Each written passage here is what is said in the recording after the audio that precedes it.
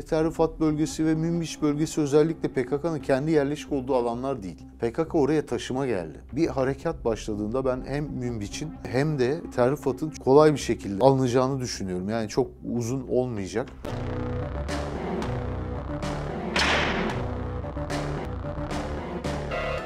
Aziz önemli bir nokta. Bu yapılması düşünülen askeri harekatla ilgili. Çünkü Tel Rifat'ın tam sınırı. Tel Rifat'ta ilk hedeflerden biri çünkü Aziz'le neredeyse karşı karşıya. Oraya gittik, Marenez'e gittik. Marenez'de Tel Rifat'tan önceki böyle 300-400 haneli bir köy aslında. 2014'ten itibaren yine o bölgede PKK-PYD terör örgütünün elinde. E, Orayı gözlemledik. Son cephe hattına kadar gittik. Şeyleri hala duruyor. PKK'nın paçavraları hala asılı, YPG'nin paçavraları asılı. Ve bu hatta onlarda da bir hazırlık var. Yani net bir şekilde görebiliyorsunuz ve e, yer altına özellikle sığınak yapmakla geçiriyorlar günleri. Çünkü bölgede e, işte drone uçuşları var. Oralardan da bizim kaynaklarımızdan, yerel kaynaklarımızdan aldığımız bilgiye göre şu anda orada e, hazırlık yapıyorlar. Biz o bölgeyi görüntüledik. Şöyle bir ilginç detay vardı orada. Onu ben canlı yayınlarda da özellikle anlattım. Mareniz'in içindeki camiyi şu anda karargaha çevirmiş durumdalar. Cami zaten gittiğimiz nokta çok yakın bir nokta. E, çıplak gözle de görebiliyorsunuz. Kamerayla da görüntü alabiliyorsunuz ve cami şu anda karargah. Yani bizim en azından oraya vurmayacağımızı bildiğiniz için onlar da kendi kafalarına göre bir şekilde hazırlık yapıyorlar. Bizim hazırlık safhamıza gelince e, bizim askerimiz zaten e, hazır. Bir de bu operasyonda şöyle bir detay var aslında. Yani herkesin e, beklediği daha önceki operasyonlarda olan işte onlarca tır, üstünde zırhlı araçlar, işte otobüs otobüs askerler falan. Bu harekatta öyle bir şey olacağını ben düşünmüyorum. Yani e, Fırat Kalkanı, Zeytin Dalı, Barış Pınarı ciddi anlamda büyük bir tecrübe kazandı bizim ordumuz. Ama Suriye Milli Ordusu da çok büyük tecrübe kazandı.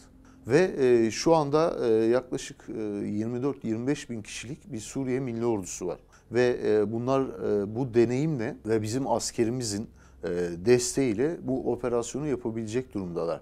Yani o yüzden kimse hani böyle e, o eski görüntüleri işte onlarca tırlık e, sevkiyatlar, işte yüzlerce otobüs, askerler öyle bir şey beklemesinler. Çok daha hibrit olacak. Yani kendi içinde e, Suriye içinde bir harekat olacak.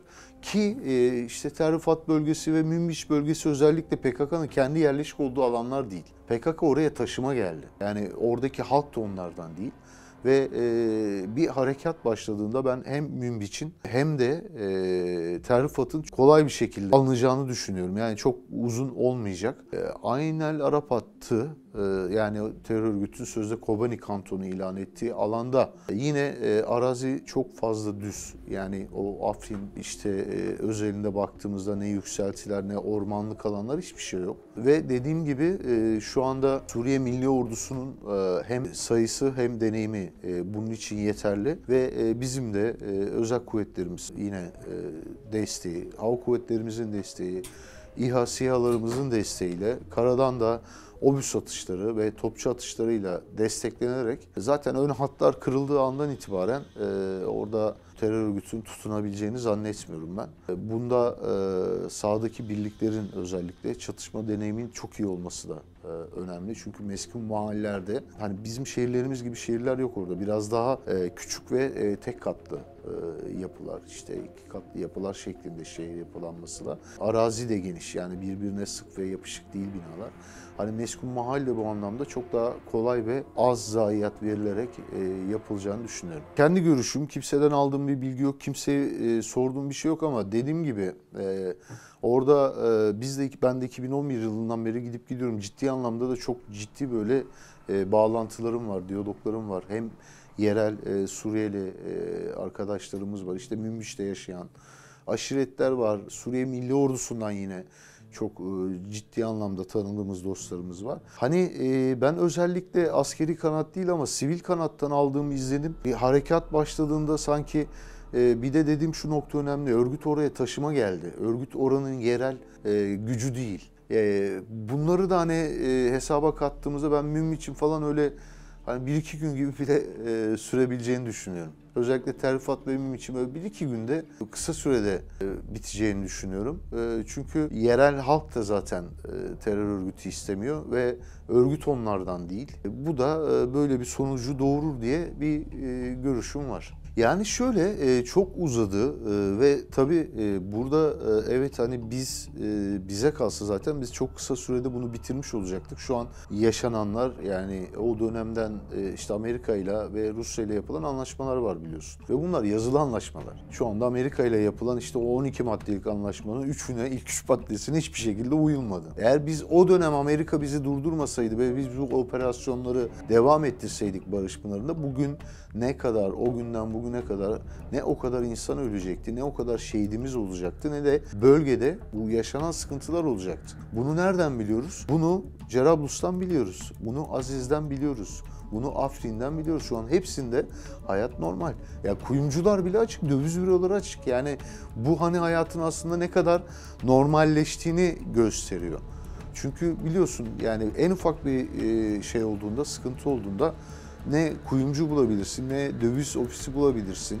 Yani bunlar ilk gidenlerdir. Ve bir güven ortamı olduğunda da e, işte bunlar tekrar açıldığı zaman orada hayatın artık normale döndüğünü bunlardan anlayabilirsin.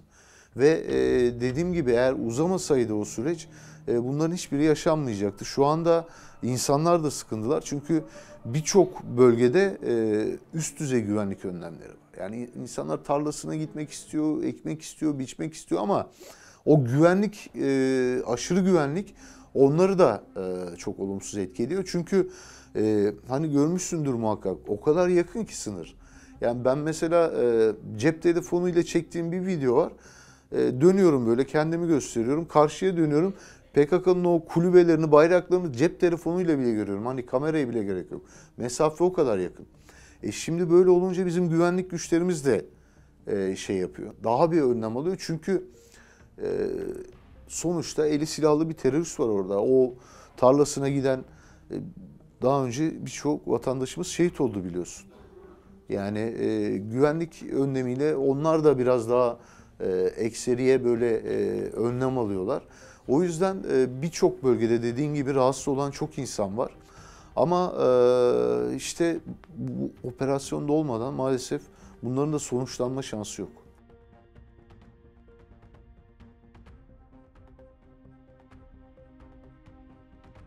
Kendi görüşüm, kimseden aldığım bir bilgi yok, kimseye e, sorduğum bir şey yok ama dediğim gibi e, orada e, biz de ben de 2011 yılından beri gidip gidiyorum. Ciddi anlamda da çok ciddi böyle e, bağlantılarım var, diyaloglarım var. Hem yerel e, Suriyeli e, arkadaşlarımız var, işte Münbiş'te yaşayan aşiretler var.